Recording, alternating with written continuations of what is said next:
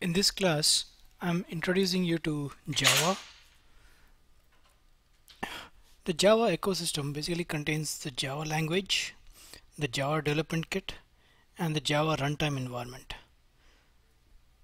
Okay, the Java language is uh, an object-oriented language, and the Java development kit it basically contains tools to develop Java programs and a JRE to run the Java programs.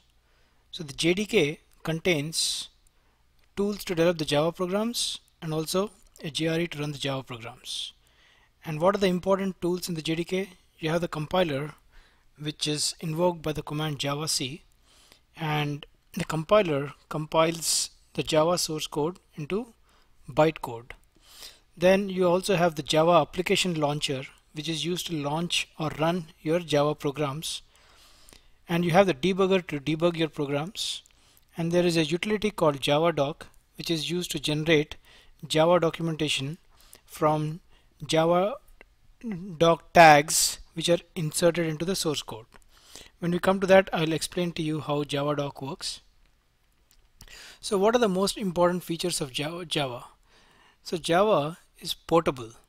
So what it means is you write once and run anywhere. So this is one of the unique selling points of Java as compared to languages like C, C++ or Pascal or other languages. And Java gets interpreted. Uh, interpreted unlike compilation it does not produce machine code. It produces bytecode which gets uh, run, interpreted and run line by line. And Java is object oriented compared to languages like C which are uh, procedural languages in object-oriented languages, you divide the complexity of the problem into small objects. Whereas in procedural programs, you divide the complexity of the, of the, of the problem into procedures or small functions or methods which are like black boxes which take some inputs and give you some outputs. Whereas in object-oriented programs, you divide the complexity into objects which encapsulate both the data and the behavior so there is no data lying outside. And Java unlike other languages can be distributed. So you can have the Java programs running on multiple machines and talking to each other. And Java is secure and it can scale really well when you add a large number of users.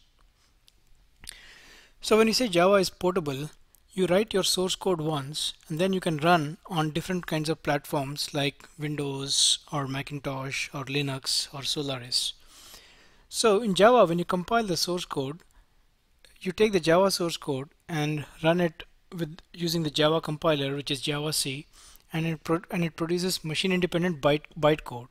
And this machine-independent bytecode can be run on any OS or hardware that has a Java virtual machine. So what does the Java virtual machine do? It basically interprets this bytecode and converts to machine-dependent executable code. So this machine-dependent executable code is specific to each machine or each platform like Windows, Macintosh or uh, Solaris or Linux.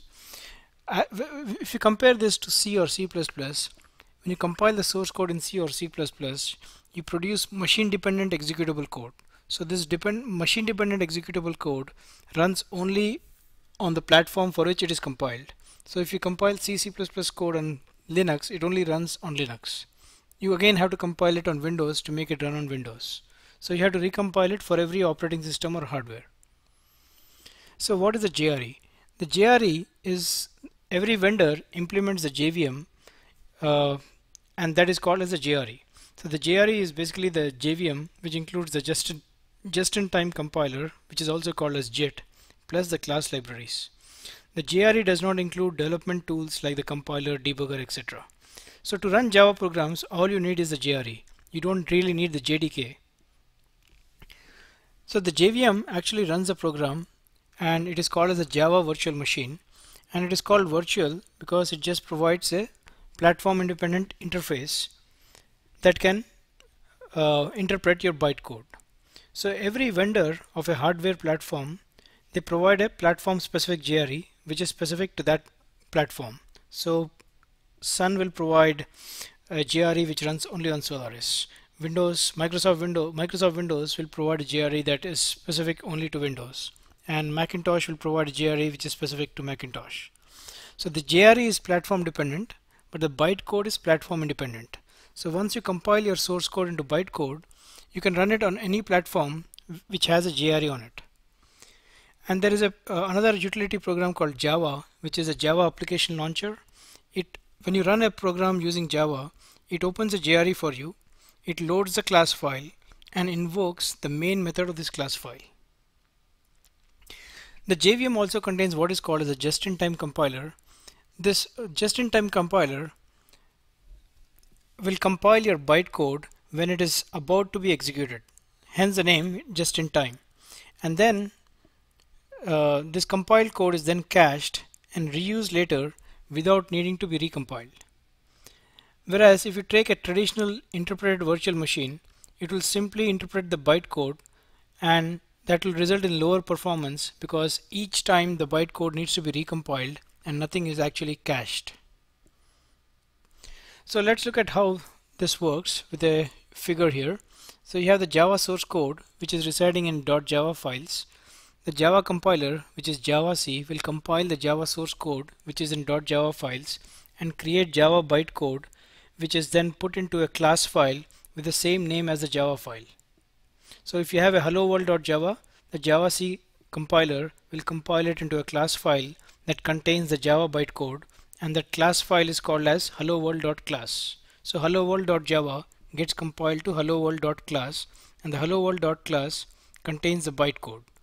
Now you can take this hello world.class and run it on any platform which has a JRE. And the JRE is the vendor specific implementation of a JVM and this JVM will interpret the Java bytecode. It may or may not use the just-in-time compiler and it will interpret the bytecode and produce the machine dependent code which executes on that platform. So the Java bytecode is machine independent. The JRE and the machine code are platform dependent. So let's see with the help of a figure what happens in C or C++. So on Windows C or C++ code needs to be compiled using the Windows C C++ compiler and it will gener generate C++ executable code which runs only on Windows. Same thing happens for Linux and Macintosh. You take the same source code, have to compile it again on Linux using the Linux compiler and it generates machine executable code which runs only on Linux. Similarly for Macintosh. So if you compare that with Java, the code is compiled into, into bytecode only only once and that can run anywhere on any hardware platform where which has a JRE on it. So the Java source code residing in .java files is compiled using the javac compiler into bytecode which goes into .class files. And now this .class file can run on all platforms where a JRE is available.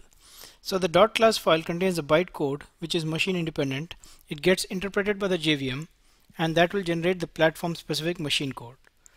The JVM is implemented by different vendors as a JRE.